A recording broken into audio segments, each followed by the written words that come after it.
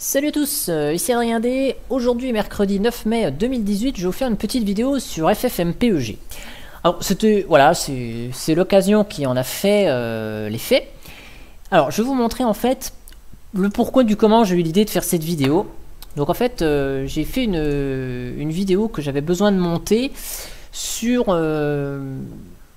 bah, ça. Hein, je voulais vous montrer une partie de pinball avec deux tables je me suis dit, tiens, voilà, je vais faire la vidéo, je vais la monter, puis comme ça, au moment où ça traînera un peu, qu'il n'y aura pas trop de vidéos, je, la mettrai en ligne. Histoire de meubler un petit peu pour éviter trop d'absence.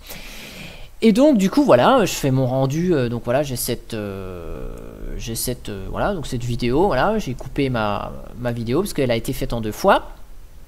Donc elle fait, elle fait 34 minutes. Alors attendez, par contre, juste ce que je vais faire, je vais lancer Opti Run Caden Live. Voilà. Vous allez comprendre pourquoi. Donc c'est pareil hein, que le rendu se fasse avec la carte Nvidia ou avec le CPU, le problème est le même. Donc voilà, je vais dans rendu. Donc j'ai mon centit.mp4 là, voilà, hop. Donc je fais, j'encode ma vidéo ici avec le driver NVENC. Et donc vous allez voir ce qui se passe. Je vous montre le moniteur système. Si vous me suivez sur Twitter, vous avez sans doute vu la, la capture d'écran que j'ai fait. Voilà, donc euh, je fais mon rendu, voilà. Et donc vous allez voir ici, donc Live prend de la mémoire, et puis plus ça va dans le rendu, plus la mémoire augmente. Donc il y a ce qu'on appelle un memory leak, c'est-à-dire une fuite de mémoire dans Live, qui fait que bah voilà, ça monte petit à petit, et donc le rendu n'a pas le temps de se faire jusqu'au bout, que la machine swap et le rendu crash. Voilà. Donc là, j'interromps la tâche. Voilà. vous voyez, ça monte euh, légèrement à chaque fois jusqu'à euh, swapper à mort. Donc j'ai fait plusieurs essais. J'ai essayé de mettre à jour Caden Live en version 18.04. Euh, donc la toute dernière version, mais j'ai toujours le même problème. Donc je sais pas d'où vient le problème. Donc je me suis dit, bah, puisque c'est ça, je vais couper mes vidéos. Oula, ça, ça va claquer. Je vais couper mes vidéos avec FFmpeg. Et après, je vais les concaténer avec FFmpeg. Désolé, il y a un petit peu d'orage ce soir. Donc, je fais un petit clear. Voilà. Et donc, ce qu'on va faire, voilà, je vais vous montrer. Donc ici, j'ai mes deux vidéos, là. Donc ça, celle-là, c'est celle qui s'enregistre. J'ai ma vidéo numéro 1, qui est euh, le début. Mon, ma table flipper, mon introduction est la première table, high speed. Et ici, j'ai la deuxième table, Monster Bash. Sauf que si je lance ici, donc ici, voilà, je vais couper le son. Donc ici, il y a l'intro que je garde. J'ai un bout, là, j'ai un bout de la deuxième table et ça a craché en plein milieu de l'enregistrement. Donc, j'ai pas la deuxième table complète. Donc, j'ai refait un enregistrement spécial pour la deuxième table. Donc là, je veux garder le début de la vidéo. Et puis, je vais jusqu'à... Euh, voilà, donc là, j'ai ma table qui est présentée. Nickel. Et puis, bah tiens, on se dit, tiens, on va essayer de couper là entre le temps où je clique sur Start et le temps où je lance la deuxième vidéo. Donc, je mets ça en pause, cette vidéo, et donc je dis qu'il faut que je garde ma vidéo du début jusqu'à 13 bah, minutes 43. Allez. Donc, ça, c'est la première partie de la vidéo. Donc, de 0 à 13 minutes 43. Et pour la deuxième partie de la vidéo, donc j'ai mon deuxième fichier vidéo. Donc là, je vais garder jusqu'à la fin, où je présente tout. Et je veux bah, couper par exemple le début, là où j'ai le, le début, là, ça m'énerve. Donc, je vais garder... Voilà, je dis pas n'importe quoi. Je dis que je veux euh, reprendre la vidéo. Donc là, il y a un moment où je parle. Hein. Et donc, voilà, je me dis, bah tiens, je vais reprendre la vidéo à 21 minutes, 21 secondes. Ok, donc je vais garder de 21 secondes jusqu'à la fin. L'avantage, c'est que de bidouiller avec FFmpeg, on va pas réencoder le fichier. On va juste couper les petits bouts qui nous intéressent. Donc, là, on, utilise la commande FFmpeg. On va lui dire, je veux tirer i, un fichier en entrée. Donc c'est mon fichier 2018, il s'appelait comme ça. 03, voilà, je l'ai enregistré. Alors attendez, hop. Donc là, c'est celui que j'ai enregistré à 21h05. Voilà, je le premier. Je veux commencer à couper donc à 0. Hein, donc je commence ma vidéo à 0, 0 heure, 0 minutes, 0 secondes. Oups, pardon. 0, 0 centième. Voilà. Donc on met heure, 2 points, minute, 2 points, seconde, point, les centièmes. Et ce, donc pour une durée de, j'ai dit 13 minutes 43. Donc 0 heure, 13 minutes, 43 secondes, 00 centième. Bon, je pense que c'était pas vraiment le bon jour pour faire une vidéo, c'est pas grave, mais j'en ai le temps. Tirer C, donc on va lui dire quel codec on veut. Donc pour le codec vidéo, donc tirer C 2.v, je réutilise le même codec, donc je rencode pas, je copie. Et pareil pour le codec audio, donc C, le codec 2.A pour codec audio, copie. On peut simplifier en mettant juste C copie. Je vous mets les deux, comme ça si vous changez le codec vidéo et pas l'audio ou inversement, vous savez comment faire. Et après, ben, on, met le nom euh, du premier fichier. Donc euh, part1.mkv, je garde la même extension, c'était du mkv enregistré avec OBS, donc je garde.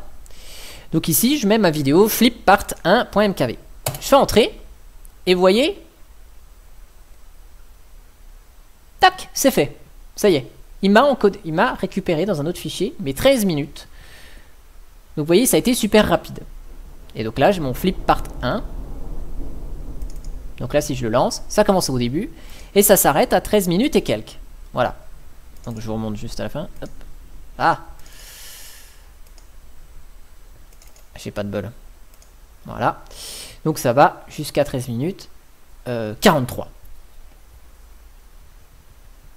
voilà. Et la vidéo s'arrête. Donc là, j'ai ma première partie. Maintenant, on va faire la deuxième partie.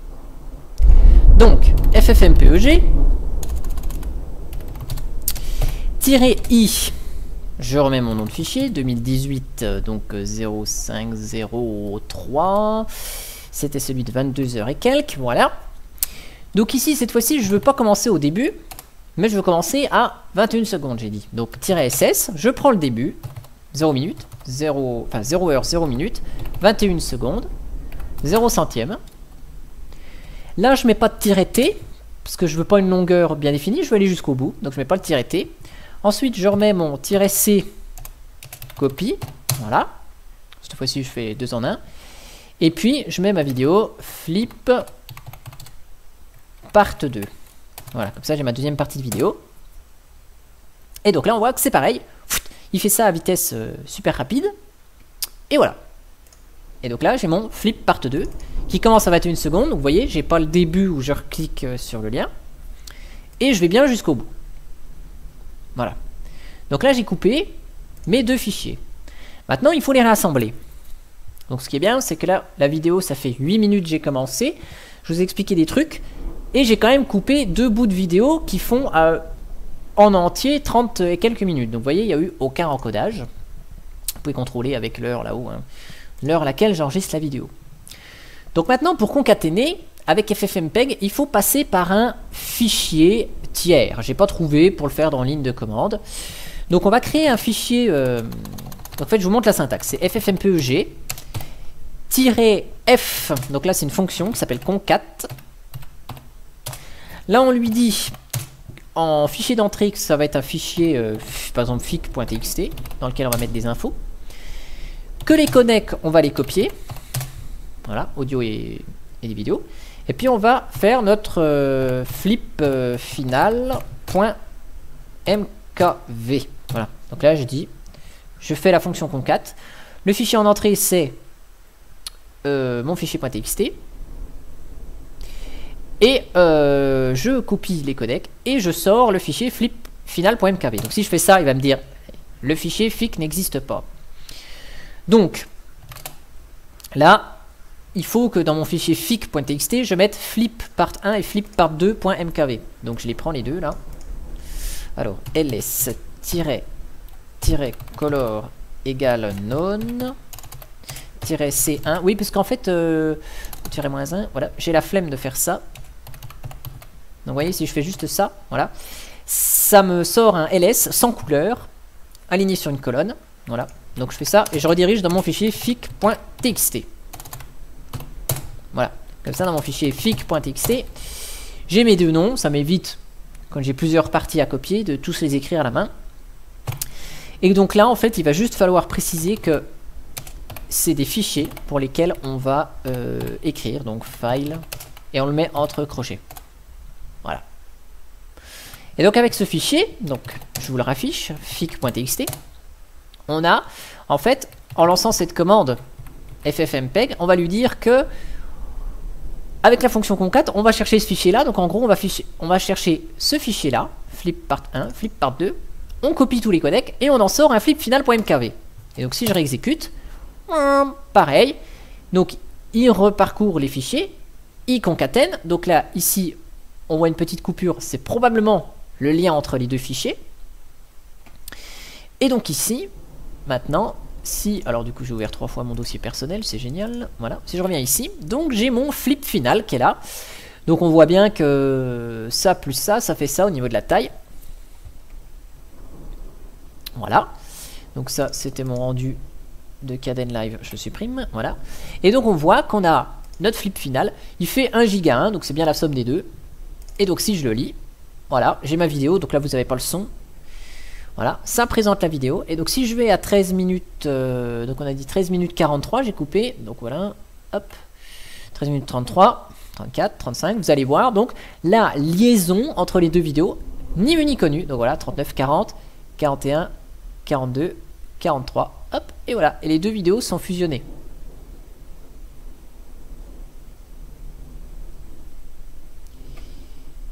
Et donc après, bon bah voilà, on a la suite de la vidéo. Donc c'est lisible nickelement. Et donc je vais pouvoir, euh, je vais pouvoir la, téléverser sur, euh, sur YouTube. Voilà, donc c'était une petite vidéo assez euh, rapide pour vous, expliquer en fait cette possibilité de d'édition par FFmpeg. Donc history pipe grep ffmpeg. Voilà. Je vous montre ça, ffmpeg. Voilà. Donc je vous montre les commandes. Voilà, bon, vous en voyez un peu plus. Donc celle-là, c'est celle que j'avais lancée au moment où j'ai fait mon truc. Et donc celle-ci, c'est celle que je vous ai fait pendant la vidéo. Donc ffmpeg-i, le nom du fichier, -ss, le début de la vidéo, -t, le temps que vous voulez garder, -c, v, copie pour copier le codec vidéo, ca, copie pour copier le codec audio, flip, enfin, et après le nom euh, que vous voulez donner à ce fichier de sortie. Ensuite, vous faites la même donc "-ss", vous mettez le début. Là, on peut utiliser ces copies pour copier et l'audio et la vidéo, que ce soit plus rapide que ça. Et après, on met le nom de notre deuxième partie. Et après, grâce à un fichier de concaténation, euh, qui s'appelle fic.txt dans mon cas, on le met en fichier d'entrée, on appelle la fonction concat, on copie tous les codecs et on en sort un fichier final et on a notre magnifique truc. Et donc en gros, si vous voulez, la manip, on l'a fait en, en gros en une minute on a collé deux vidéos ensemble. On a collé deux vidéos ensemble et, euh, et tout est nickel. Alors bien sûr, il faut, pour que ce soit bien, que les formats de vidéo soient les mêmes. Parce que si vous avez une vidéo avec un format, je sais pas, 800 par 600, puis un autre en 1920 euh, par 1080, je sais pas ce que ça fait en concaténant. Mais on concatène deux résolutions différentes, c'est pas top. Il vaut mieux concaténer deux résolutions identiques, deux codecs identiques, euh, deux audios identiques. Donc là, ça a été les vidéos, les deux bouts de vidéo ont été faits avec le même logiciel, les mêmes paramètres. Donc c'est tout à fait possible, mais il faut quand même euh, veiller à avoir le même. Sinon, si on n'a pas le même, eh ben on peut spécifier ici. Bon là, ça passe par un processus d'encodage, donc ce sera plus long, mais on peut spécifier "-c euh, 2.v x264-ca AAC et là on spécifie qu'on réencode tout en x264 AAC. Voilà. Donc j'espère que cette petite vidéo faite un petit peu à l'arrache, hein, mais euh, vous avez l'habitude, euh, depuis le début du mois de mai, ça va se faire un petit peu à l'arrache. Mais voilà, c'était l'occasion qui faisait que je pouvais vous présenter cette vidéo sur FFmpeg. Euh, je vous mets le lien dans le descriptif de la vidéo de mon article sur linuxtrix.fr que je complète au fur et à mesure des, petites, des petites astuces hein, que je trouve. Mais j'avais fait un article assez complet avec plein de petites manips sur FFmpeg vous pouvez le trouver euh, en tapant Linuxtrix FFmpeg sur euh, Google ou sur ce que vous voulez. Donc ça c'est le lien que je vais vous mettre en dessous, voilà. Et donc euh, voilà, j'ai, c'est des petites astuces que j'ai mises en pratique au fil du temps. Donc l'article, l'article s'incrémente de, nouveaux chapitres. et de nouvelles astuces une fois que j'en ai besoin. Quand j'en ai besoin, je trouve sur internet et dès que je l'ai, je la mets ici. Donc voilà, on a pivoté une vidéo de 90 degrés, extraire l'audio d'une vidéo, capturer l'écran de son bureau. Voilà, donc euh, les premières vidéos que je faisais, c'était avec FFmpeg. Hein. C'est-à-dire je capturais l'écran du bureau, le son, voilà. Je capturais en ligne de commande. Hein. J'utilise pas, j'utilisais pas Simple Screen Recorder ou OBS convertir une vidéo MP4 en AVI, euh, extraire les vidéos d'une vidéo les images en PNG. Alors ça, ça m'arrive souvent. Je fais une vidéo, euh, je fais une vidéo qui est en très bonne qualité, et puis euh, par exemple typiquement un feu d'artifice. Ou là, par exemple, les éclairs qui, qui, vient de, se mettre là, je pourrais prendre une vidéo avec le téléphone et après, avec ma vidéo, là, je fais 25 images par seconde que j'extrais en PNG. Et comme ça, je prends juste le cliché qui est bon. Voilà. Euh, couper une vidéo. Donc là, voilà, c'est la, l'astuce que je vous ai montré. Il y a des astuces pour rogner une vidéo, euh, convertir une vidéo en forçant un bitrate. Alors après, il faut savoir quelle valeur mettre, ça c'est toujours un peu aléatoire. Réduire le nombre d'images par seconde sur une vidéo, euh, donc pour les alléger, si jamais il n'y a pas beaucoup d'action dans la vidéo.